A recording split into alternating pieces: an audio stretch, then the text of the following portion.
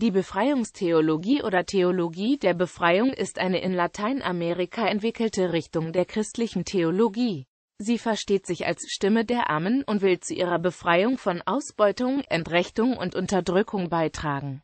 Aus der Situation sozial deklassierter Bevölkerung steile heraus interpretiert sie biblische Tradition als Impuls für umfassende Gesellschaftskritik. Dabei bezieht sie sich auf eine eigenständige Analyse der politökonomischen Abhängigkeit und arbeitet für eine basisdemokratische und überwiegend sozialistische Gesellschaftsordnung. Daraus ergaben sich, vor allem in der katholischen Kirche, zwangsläufig erhebliche Konflikte mit der Kirchenhierarchie, die häufig in Disziplinarmaßnahmen gegen einzelne Geistliche mündeten als Konsequenz ihrer Überzeugungen stellten sich die Befreiungstheologen zudem offen gegen die in Südamerika weit verbreiteten oligarchischen und diktatorischen Regime, was zahlreiche Geistliche das Leben kostete. Das bekannteste Opfer ist Oscar Romero, der 1980 ermordete Erzbischof von El Salvador. Die Grundkonzepte der Befreiungstheologie entstanden seit etwa 1960 aus der Selbstorganisation von katholischen Basisgemeinden in Brasilien. 1968 trat diese Richtung mit der Parteinahme der Zweiten Allgemeinen Lateinamerikanischen Bischofskonferenz in Medellin für die Armen hervor. Ihren Namen gab ihr das 1971 erschienene Buch Theologia de la Liberación von Gustavo Gutiérrez. Die überwiegend katholische Befreiungstheologie empfing Anregungen vom Zweiten Vatikanischen Konzil und wirkt in die Ökumene sowie in den sozialkritischen Protestantismus hinein. Ähnliche Konzepte entwickelten sich auch in Südafrika und einigen Ländern Asiens. Auch die in den USA im Zusammenhang mit der Bürgerrechtsbewegung entstandene schwarze Theologie versteht sich als Befreiungstheologie. Entstehung und Hintergründe Etwa seit der Zeit der kubanischen Revolution 1959 bildeten sich in den armen und meist katholisch geprägten Bevölkerungsschichten ehemaliger europäischer Kolonien vermehrt sogenannte Basisgemeinden. Deren Mitglieder waren in der Regel landlose Bauern, Landarbeiter, Slumbewohner und Analphabeten, die ihre Alltagsprobleme gemeinsam zu bewältigen versuchten hier wurde die biblische Botschaft unmittelbar auf die reale Situation ihrer Leser bezogen, um daraus eine gesellschaftliche Hoffnungsperspektive für sie zu entwickeln. Das besondere Kennzeichen dieser lebensnahen und praktischen Exegese ist, dass sie von den betroffenen Armen selbst vorgenommen wird, die sich als in den Bibeltexten gemeinte und Angeredete entdecken. Nach und nach kamen in fast allen Ländern Lateinamerikas beginnend 1964 mit einem Militärputsch in Brasilien von den USA ökonomisch und militärisch gestützte Militärdiktaturen an die Macht. Diese Entwicklung hatte ihren Höhepunkt in den 1970er und 1980er Jahren. Die Regime betrieben fast durchweg eine für die jeweilige Bevölkerungsmehrheit sozial und wirtschaftlich nachteilige bis katastrophale Innenpolitik die nur den zahlenmäßig kleinen Oberschichten zugute kam. Jegliche Versuche und Forderungen, die Situation der Armen durch Reformen zu verbessern oder gar die Herrschaftsverhältnisse zu hinterfragen, wurden von den Regierenden mit massiver Gewalt und Unterdrückung beantwortet, was in vielen lateinamerikanischen Ländern in sogenannten schmutzigen Kriegen gipfelte.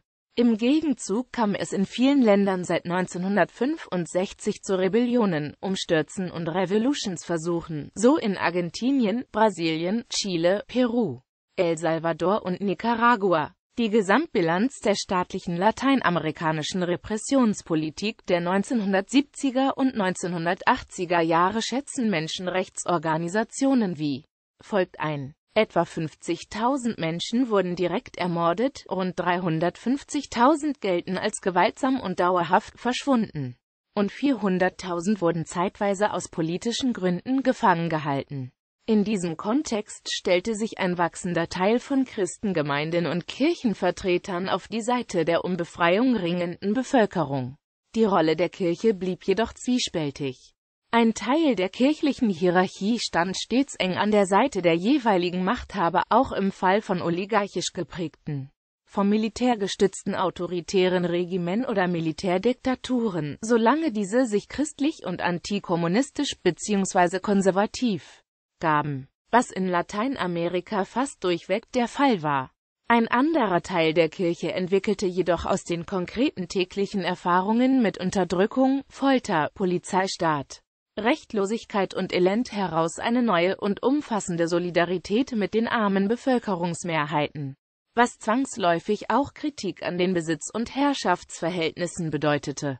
Im Jahre 1968 kam es in Medellin zur zweiten allgemeinen lateinamerikanischen Bischofskonferenz. Die dort versammelten Bischöfe versuchten, sich gegenüber den neu aufkommenden sozialen Bewegungen zu positionieren.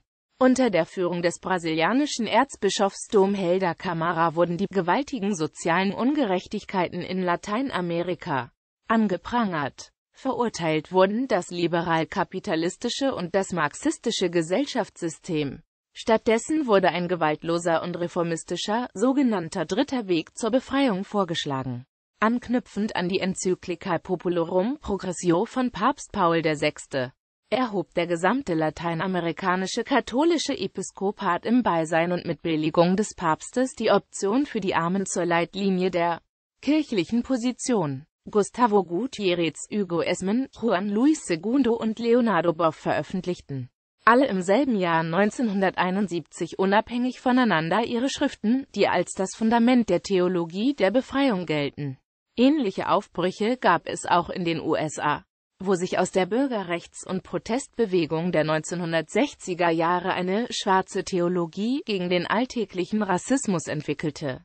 Diese wirkte wiederum auf die christlich motivierte Anti-Apartheid-Bewegung Südafrikas ein. Ein Beispiel hierfür ist das Kairos Dokument. Auch auf den Philippinen, in Sri Lanka und Indien entstand seit 1968 eine Theologie des Kampfes. Diese Bestrebungen werden oft als Dritte Welttheologie zusammengefasst. Obwohl sie jeweils eigenständig waren und auch europäische sowie nordamerikanische Vertreter beeinflussten. Programm von Lebenserfahrung der Armen geleitete Bibelauslegung Die Befreiungstheologie ist ursprünglich eine Theologie der Armen selbst. Die Entwicklung der Basisgemeinden mit gemeinsamen, von keinen Amtsträgern geleiteten Gottesdienstformen war weit fortgeschritten als die ersten Befreiungstheologen auf dem internationalen Buchmarkt zu Gehör kamen. Ihre Autoren verstehen sich nicht als Erfinder einer neuen Theologie, sondern als Sprachrohr der Unterdrückten. Diese selbst waren es, die in der Bibel ihr ureigenstes Thema, die Befreiung aus jeder Form der Sklaverei, wiederentdeckten und daraus politische Folgerungen für ihre Realität ableiteten.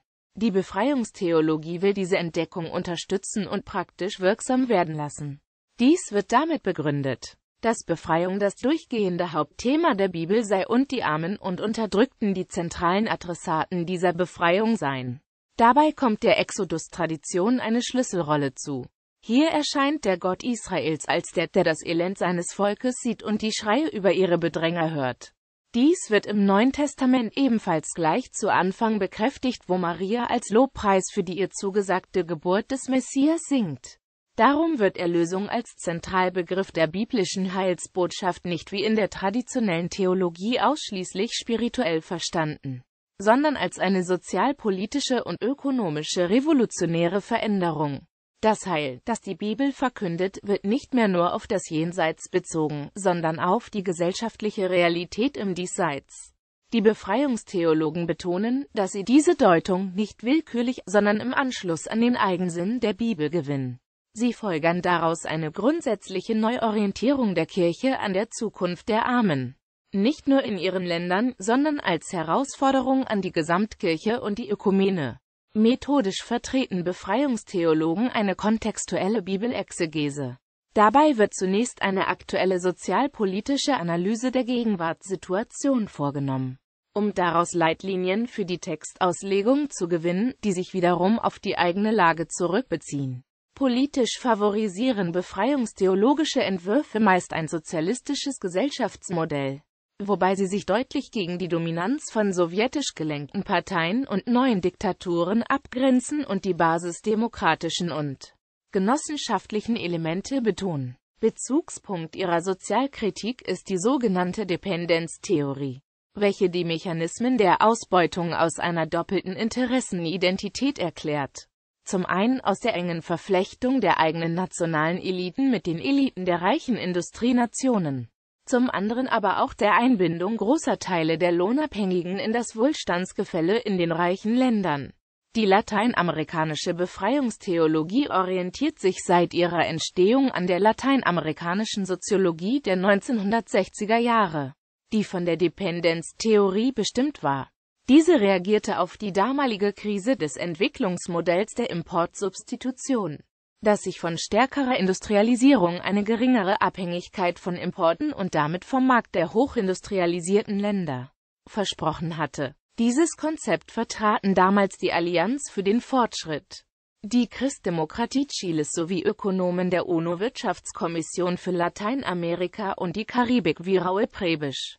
Sie grenzten sich wie die Befreiungstheologen vom Neoliberalismus und Neokonservatismus ab, wurden aber dennoch von den Dependenztheoretikern als Desarolisten kritisiert. Nach Steffen Flexig scheiterten die an sich richtigen Entwicklungsmodelle der CEPAL an der Politik rechtsgerichteter Regimes seit dem Putsch 1964 in Brasilien, dann in Bolivien, seit 1973 in Chile und in Argentinien. Diese hätten den Kontinent zum machtpolitischen Exerzierfeld einer gewaltbereiten neoliberalen Elite gemacht, um die Reformerfolge der 1960er Jahre zurückzudrehen. Der russische Ökonom Viktor Krasilschikow beschrieb den Übergang zum Neoliberalismus als globalen, nicht auf Lateinamerika begrenzten Prozess. Zur Analyse dieses globalen Kapitalismus hatte der Soziologe und religiöse Sozialist Karl Polanyi schon in den 1930er Jahren den Weltsystemansatz mitbegründet. Demgegenüber wird die Dependenztheorie als zu sehr an der lateinamerikanischen Situation orientiert kritisiert die die Situation der muslimischen Welt und Asiens wie auch die wachsende Ungleichheit und Verarmung in Europa und Nordamerika zu wenig erfasse. Die Dependenztheorie wiederum reagierte durch einen kritischen Dialog mit der Weltsystemtheorie auf die Kritik. Ivan Petrella zufolge muss sich die Befreiungstheologie stärker mit Problemen wie dem Sexismus und der Umweltverschmutzung auseinandersetzen, um sich mit anderen sozialen Bewegungen verbünden zu können. Anders als in der europäischen Theologie seit 1945 war der jüdisch-christliche Dialog für viele Befreiungstheologen bis etwa 1990 noch kein Thema. Historisch-kritische Bibelforschung und im Dialog mit jüdischen Theologen gewonnene exegetische Erkenntnisse wurden kaum oder verhältnismäßig spät rezipiert. Aufgrund der hermeneutischen Grundregel die biblischen Texte mit den Augen der aktuell Unterdrückten zu lesen und direkt auf ihre Lebenswelt zu beziehen, wurde die biblische Tradition einerseits kreativ angeeignet. Andererseits überging man dabei oft die historische Situation der Textentstehung und ihren Bezug zum erwählten Gottesvolk der Israeliten. Dabei wurden auch unreflektiert antijudaistische Klischees aus älterer europäischer Theologie übernommen. Der Brasilianer Carlos Mestas etwa stellte Sadduzäer und Pharisäer im Neuen Testament 1973 als gemeinsame Gegner Jesu und Vertreter eines für das Volk der armen tödlichen Religionssystems dar. Insbesondere die Pharisäer hätten mit ihrer Gesetzesauslegung das Leben erstickt, um ihre unterdrückende Herrschaft religiös abzusichern. Sie hätten eine buchstäbliche Befolgung der Tora gelehrt und diese benutzt um ein von Menschen gemachtes Ausbeutungssystem zu verschleiern und zu verteidigen. Mestas verglich die Hauptvertreter des Judentums seit 1970 mit den Vertretern der nationalen Sicherheit in lateinamerikanischen Militärdiktaturen, die auch kirchliche Funktionsträger stützten und rechtfertigten. Dazu zeichnete er ein in der deutschen Theologie mindestens bis 1960 gepflegtes Zerrbild der Pharisäer. Tatsächlich vertrat diese volksnahe Laienbewegung schon vor Jesus eine flexible situationsgerechte Tora-Auslegung. 1986 würdigte Mestas die Zehn Gebote und die Sozialgesetze der Tora als Weg zur Befreiung vom Haus der Sklaverei im Bund mit dem parteilichen Gott, der die Armen durch Recht und Gerechtigkeit dauerhaft von der gegenwärtigen Unterdrückung befreien wolle. Die kasuistische am buchstabenhaft Ende Tora-Auslegung sei historisch gescheitert. Jesus habe einen neuen Bund mit den Armen geschlossen und ihnen damit eine Zukunftsperspektive eröffnet.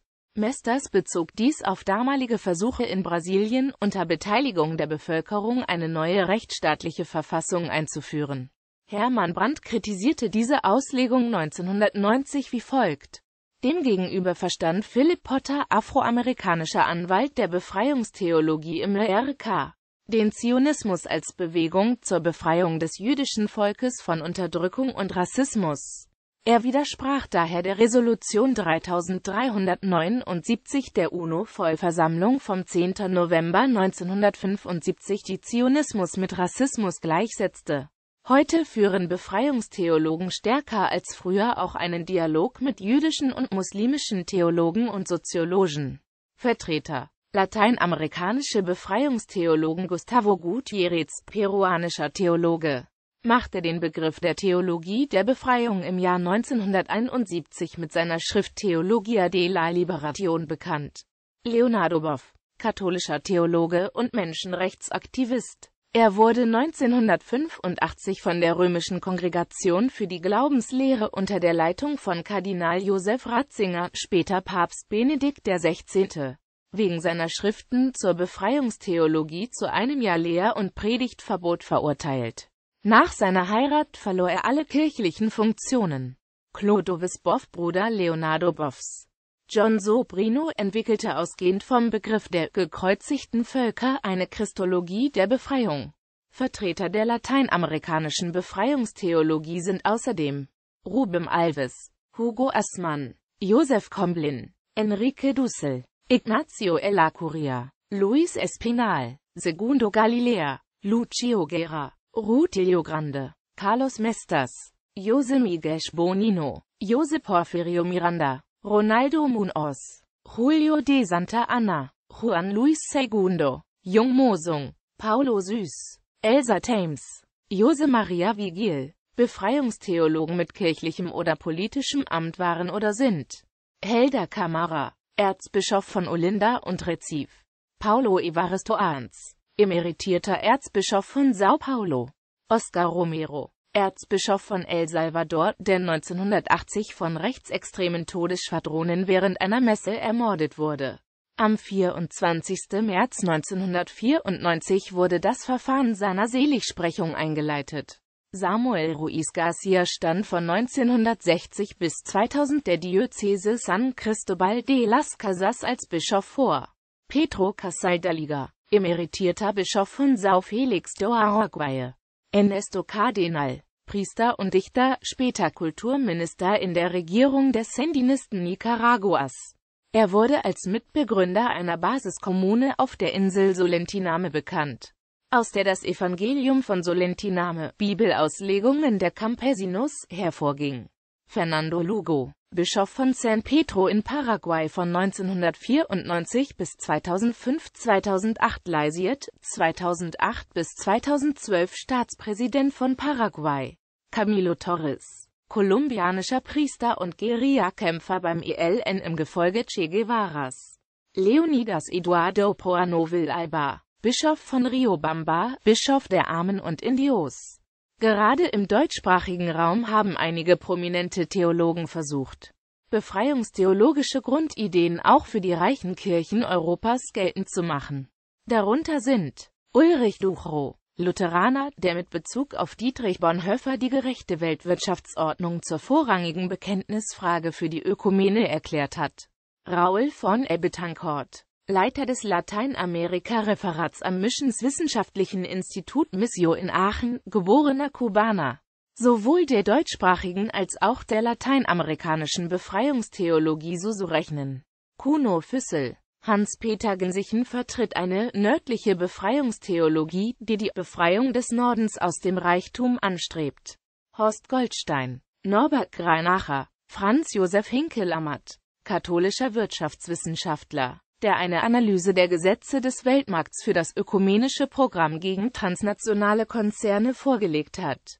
Elmar Klinger, Würzburger katholischer Fundamentaltheologe, zeigt auf, dass die Theologie der Befreiung weltweit die einzige theologische Strömung ist, welche die Anliegen des Zweiten Vatikanischen Konzils tatsächlich verwirklicht hat. Willi Knecht, katholischer Theologe, der am Beispiel einer Diözese in Peru die Entstehung der ersten nicht-kolonialen Theologie aus befreiender Praxis und deren Aktualität dokumentiert. Erwin Kreutler, aus Österreich stammender Bischof von Altamira in Brasilien. Dorothee Sölle, Deutsche Schülerin Rudolf Bultmanns vertrat eine radikal kirchenkritische existenziale Interpretation des Evangeliums, feministische Sozialistin, die lange in den USA lehrte. Theologen wie Karl Rahner, Jürgen Moltmann, Johann Baptist Metz, Peter Eicher und Helmut Gollwitzer werden gemeinhin nicht zur Befreiungstheologie gerechnet, standen aber in einem teils intensiven Dialog mit ihr. Befreiungstheologen anderer Länder Markella Althaus Reit, Queertheologie-Professorin argentinischer Herkunft in Edinburgh, Ellen Bösack, Vertreter der schwarzen Theologie in Südafrika, James H. Conne, Vertreter der schwarzen Theologie in den USA, George Gonzalez, französischer Schüler Karl Barths und libertärer Sozialist im Gefolge Jean-Paul Sartre. Mariano Delgado, Theologieprofessor in Fribourg, Schweiz. Mark Ellis, jüdischer Befreiungstheologe aus den USA. Jean-Marc Elar, Kameruner, bedeutendster Vertreter der afrikanischen Befreiungstheologie. Anbayong MU, Vertreter der südkoreanischen Minjung-Theologie. Chung Hun Kyung, feministische Befreiungstheologin aus Südkorea